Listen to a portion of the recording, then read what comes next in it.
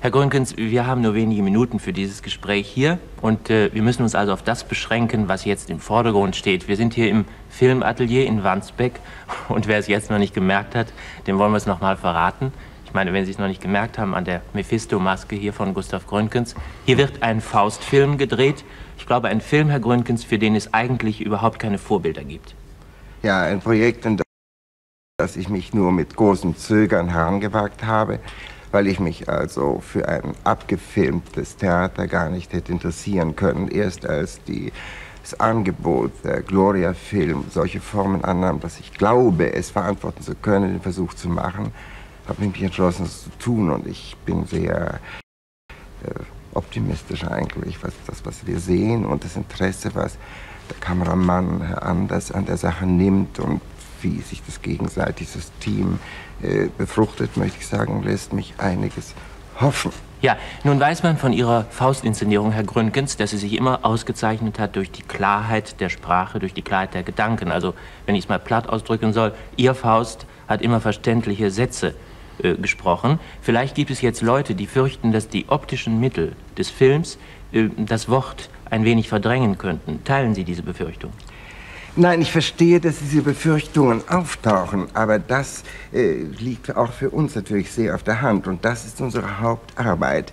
Äh, Bild und Wort in Konkurrenz zu bringen. Ja. Sehr richtig, was Sie sagen, denn die Gefahr, dass die Bilder so schön sind, dass man das Wort ja, vergisst. Da muss man furchtbar darauf aufpassen.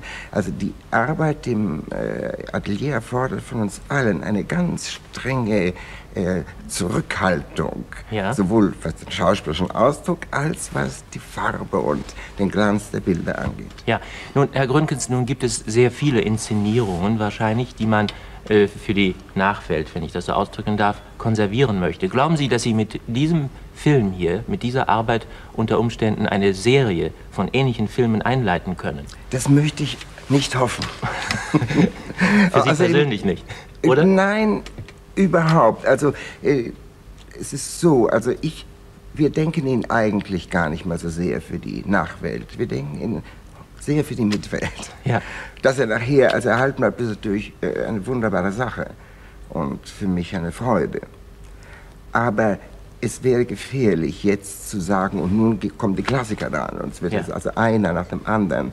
Faust bietet sich merkwürdigerweise unerhört an. Es ist ein glänzendes Drehbuch, würde ja. ich sagen. Ja, schauen Sie mal, wo gibt es also ein, eine, eine rührendere, schlichtere Figur als das Gretchen? Das können Sie in keinem Heimatfilm finden. Mhm. Wo gibt es einen größeren Gangster als Mephisto? in keinem Gangsterfilm finden. Ja. Also.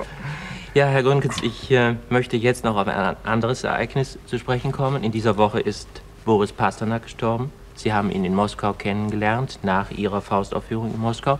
Und wenn ich richtig informiert bin, sind Sie ihm in dieser Maske gegenübergetreten. Ja, ja, ja. Es war ein sehr, ähm, sehr unheimliches, das in der Zeitung zu lesen, weil als ich ihn sah, er war so lebhaft und so äh, agil und so auf der Höhe seiner geistigen Potenz, dass ich das nie vermutet hätte. Ein, ein sensibler, feiner, kluger Mann mit einer profunden Kenntnis des Werkes, ja. des goethischen Werkes.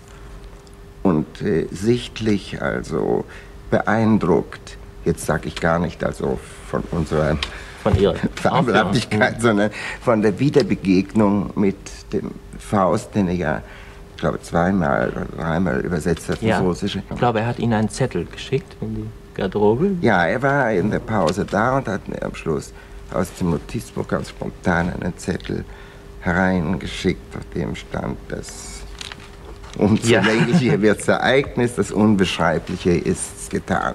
Eine hübsche Geste. Ja, Herr Grünkes, ich habe Ihnen zu danken für dieses Gespräch. Außerdem dafür, dass wir jetzt in dieser Sendung den ersten Ausschnitt, das erste Muster sozusagen, zeigen dürfen.